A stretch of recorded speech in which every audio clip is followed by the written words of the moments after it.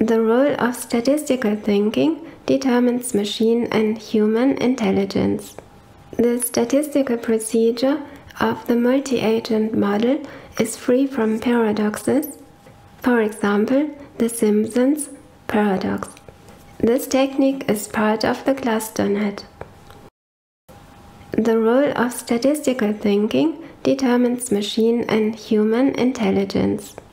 If we want to make a decision, our statistical knowledge of past actions helps us to make choices in the present.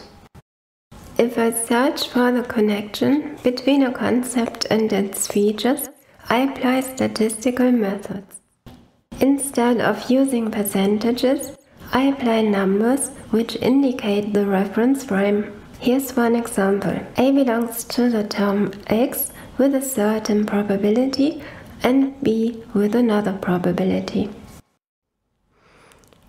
A belongs to the term y with a certain probability and B with another.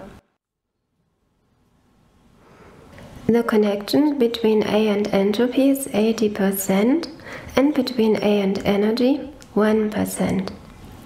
The connection between B and entropy is 93% and between B and energy 10%. This does not indicate that the probability value of the connection between B and the principle of thermodynamics is higher than the value of the connection between B and entropy and energy. This is the Simpsons paradox. Let's do the math.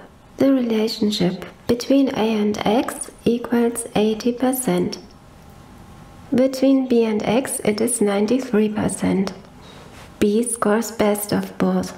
As far as Y is concerned, the connection between A and Y equals 1% and between b and y it is 10%. Again, b scores best of both. Now we combine x and y and the scores of a and b. The combined score of a for x and y is 76% and of b it is 60%. So this time a scores best. b is the winner if x and y are separate and if x and y are combined, A is the winner. This is the Simpsons paradox.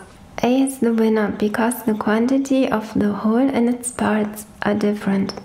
As a result, the statistical values of the third neural net should be free from this paradox and therefore consistent. The result also implies the entire number of references this is also part of the decentral coherence mechanism and the bigger picture. The base learners of my invention, the cluster net, create neurons of the abstract hypernet.